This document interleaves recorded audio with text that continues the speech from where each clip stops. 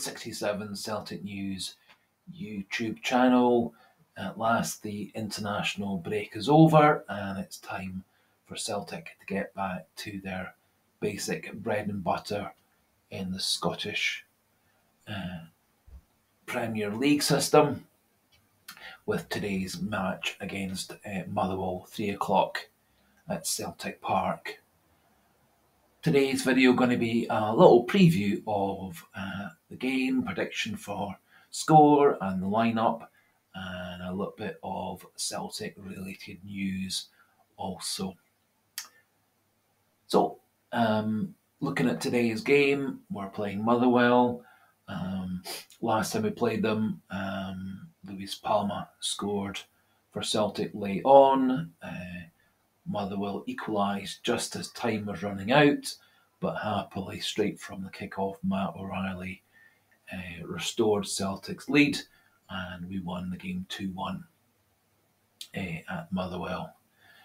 In uh, the games since that time, Motherwell for the last nine games have had two draws and seven losses, and their form has really dipped quite considerably.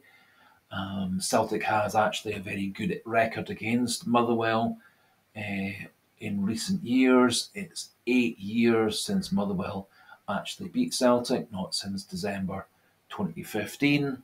And also, Celtic have a run of 29 games unbeaten uh, against Motherwell home and away. And of course, Celtic are looking to extend their unbeaten home record to 51, um, which would put them too short of the record of 53 unbeaten home games, which was under Martin O'Neill in the early 2000s.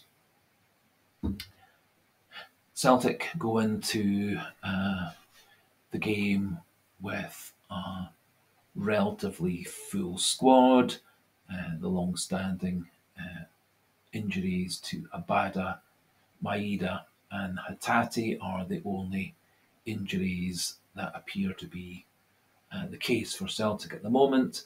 And Luis Palma and Alistair Johnston came back from international duty and were back in training yesterday. Uh, yesterday at Lennoxtown, and also it was very good to see Marco Tilio also taking part fully in training um, after a couple of games for the Australian Olympic team in the Middle East uh, during the international break. I think uh, Brendan Rodgers will be looking a little bit towards the game against Lazio and resting a couple of players in preparation for that. Um, and um, also, I think it's very, very important uh, for Celtic to get uh, Marco Tilio into first team action. He um, obviously um, is back to full match fitness, um, having had the equivalent of uh, 90 minutes of play in effect in the two Australian games during the international break.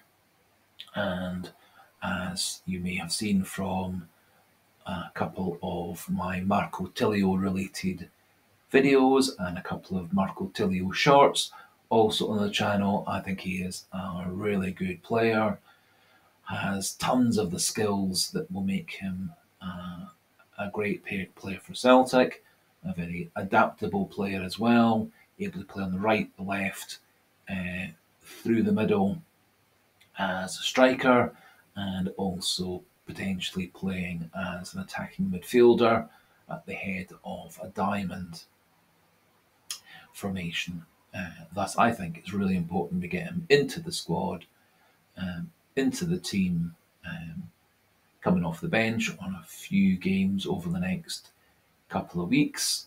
Um, double uh, benefit of getting him uh, integrated into this team, getting his confidence up, getting his teammates getting to know him, and um, also uh, allows us to rest a few players um, before and after the Champions League matches over the next uh, few weeks, and also very busy um, fixture schedule up to um, the start of 2024. And so I think Celtic do need to use as much of their squad as possible.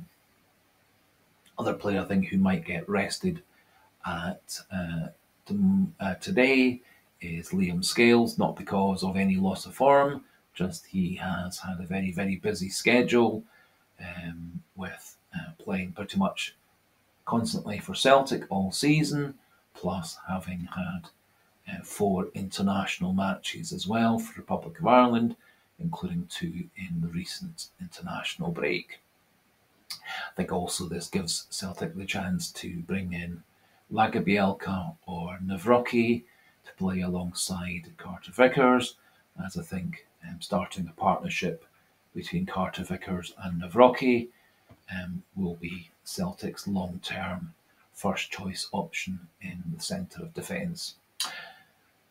So, um, in prediction for the team, uh, assuming that all the injury status and return from uh, international break status is as reported in this morning's uh, press online, I would go with Joe Hart in goals, Alison Johnston at right back, uh, Carter Vickers and Nawrocki in centre defence, and Greg Taylor at left back, uh, having um, Lagerbielke and Scales on the bench. This covers uh, right back, left back, and centre back. Uh, as Lagerbielke does double up as a right back. Centre midfield, I would go for Odin Thiago Holm, uh, McGregor, and Matt O'Riley. Uh, there are some advocating David Turnbull, but I don't personally feel he gives enough to the team all around. And he is a good player to come off the bench last 10, 15, 20 minutes. Um, as I think his uh, abilities are much better against tired opposition. Um, and I don't think he tracks back enough to support the defence, doesn't make himself available for uh, passes and one twos with his midfield colleagues and his wide colleagues.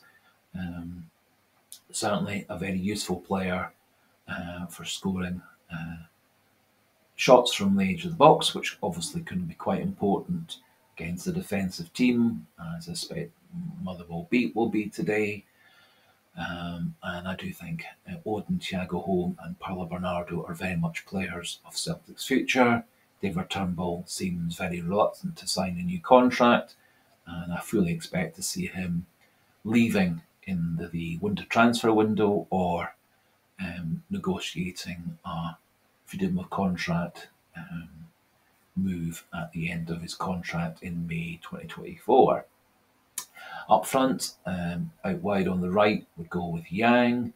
On the left, Luis Palma, um, who appears to have got over his minor knock he sustained in the first Honduras versus Mexico match. He played the full 90 minutes uh, against Mexico in the midweek.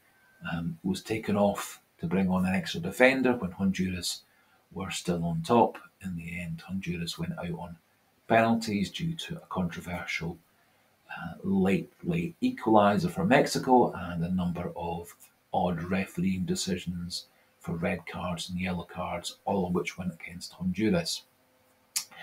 And I think, um, given the fact that um, Kyogo has had uh, quite significant head injury and concussion type injury, um, I think uh, Celtic will go with O up front as our main striker with the option of bringing on Kyogo the last 10 15 minutes or so um, to get him his match legs back under him.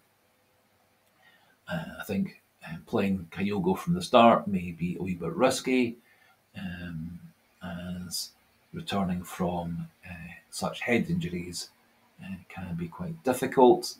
Um, but he did appear to take uh, pretty much full part in training yesterday from the videos online uh, from Lennoxtown. In terms of prediction, I don't think Celtic will have any difficulties today with Motherwell. Motherwell missing uh, three players um, Lennon Miller, Papa Suari, and Paul McGinn. Um, and I think Suari and uh, Miller have been among their best players this season. Uh, they no longer have the threat of Kevin Van Veen up front, and so I don't see Motherwell being a threat to Celtic today. So I'm going to go confidently for a 4 0 victory for Celtic. Um, and that uh, will see some game time for Tilio and for Kyogo um, in preparation for the game against Lazio, resting a few of our players late in the game and bringing in some of the squad players uh, late in the game as well to get them a bit more match fitness. Other wee bit, oh, excuse me, other wee bit of Celtic club news um, is that uh, the scouting department seems to be primarily concentrating on Mathias Kvistgaarden, a player who nearly came to Celtic in the summer transfer window. He's had a good season for Brøndby um, also carrying on in the Danish under 21 side. Um, he uh, does give Celtic a good option, and I think um, will be a useful player to have in the squad as a backup to Omo and Kyogo, and also taking over from those two, as those two would be expected to be away for a good five or six weeks in the early 2024 for the Asian Cup. Um, Sydney Van Hooijdonk doesn't appear to be so much on Celtic's radar. Um, it is a rather complicated um, situation with um, Sydney Van Hooijdonk. Um, he's got an excellent record in Dutch football, struggled in Italian football with Bologna, um, and has had a little bit of game time coming off the bench.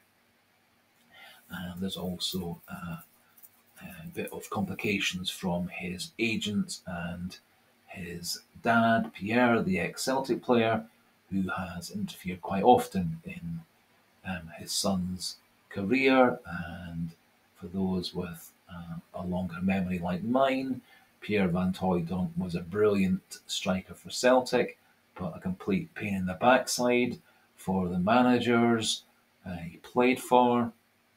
Um, um, left Celtic under pretty bad circumstances, moved to Notts Forest, again, pretty bad circumstances there.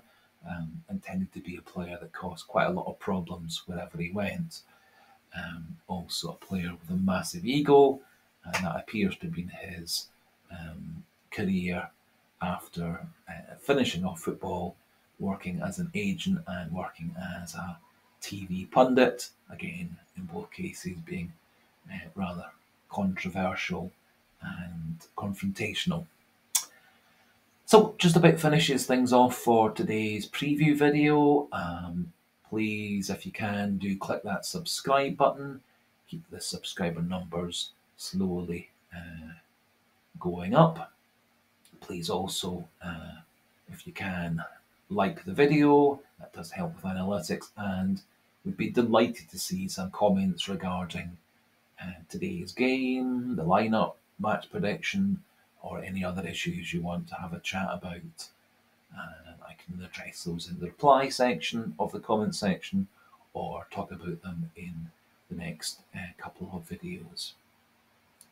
Um, have a plan to do a live stream after the match, um, dependent on um, circumstances, um, but would hope to do that somewhere between uh, maybe half past five and six, all being well. Lovely. So, thanks for listening. Thanks for watching. Um, goodbye. Good luck, Celtic, in today's match against Motherwell. And hail, hail.